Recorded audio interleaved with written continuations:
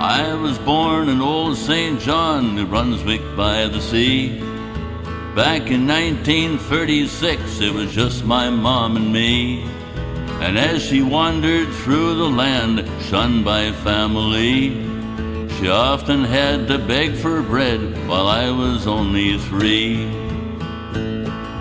She taught me to hitchhike and to face the road alone and sing about what life was like for those that had no home.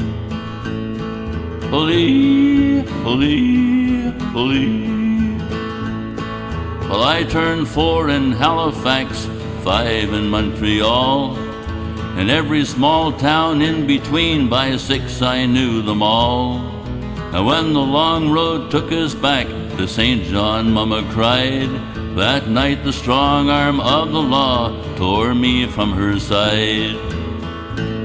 And they made me an orphan and taught me not to roam. Just cry myself to sleep at night and not be a rolling stone. Holy, holy, holy. By the time that I turned eight, they said that I was cured, cured from all that wanderlust to which I had been lured. And just in case my mum would try to find out where I'd gone, they shipped me off to PEI to a farm in Skinner's Pond. And though I love the country, I called this island home. I'd sing about what life was like with a mother's love unknown. Holy, holy, holy. When I was 13 years of age, I couldn't take no more. I ran away from home one day and left my island shore. And while the Mounties everywhere were looking for their man, on a merchant ship from old Saint John, I sailed for Newfoundland. And away out on the Grand Banks, the truth came like a knife. A drifter I would always be upon the roads of life. Hoodly, holy, holy.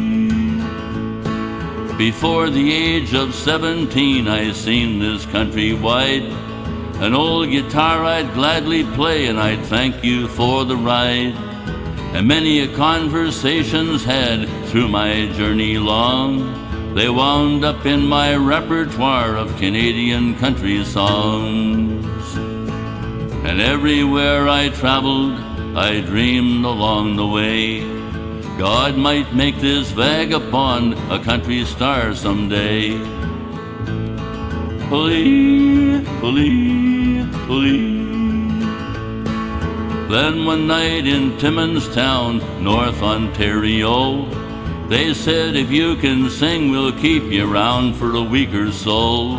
I packed the place for 14 months, and before they let me go, I'm driving a car, I got a new guitar, and I'm singing on the radio.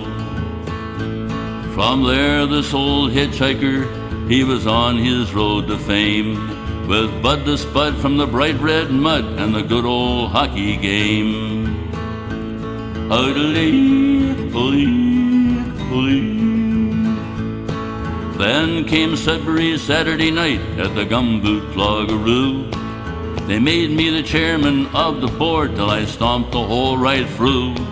And like old Luke with his old guitar, my song wasn't over yet till I sang the ode that I wrote for the road and the mum that I can't forget.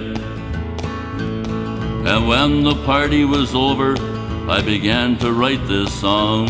And tonight you've heard me sing the words to the ballad of Stompin' Tom. Tonight you've heard me sing the words to the ballad of Stompin' Tom. Odely, odely.